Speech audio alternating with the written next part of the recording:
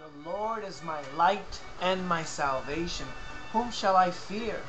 The Lord is the stronghold of my life. Of whom shall I be afraid?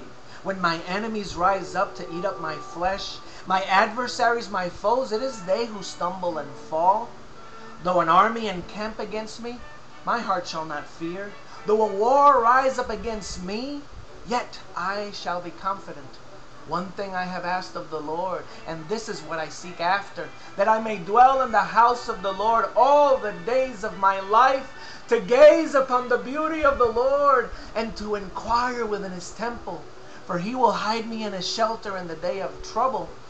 He will conceal me under the cover of his wings. He will lift me high upon a rock, and now my head shall be lifted up above my enemies all around me and I will offer in his tent sacrifices with shouts of joy. I will sing and make melody to the Lord. O Lord, hear when I cry aloud to you.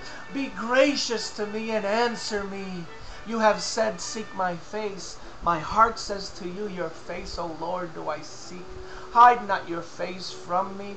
Turn not your servant away in anger, O you who have been my help. Cast me not off, forsake me not, O God of my salvation.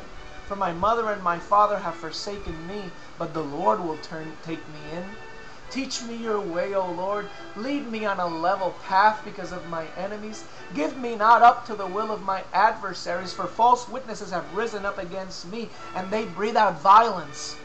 I believe I shall look upon the goodness of the Lord in the land of the living. Wait for the Lord. Be strong and let your heart take courage. Wait for the Lord.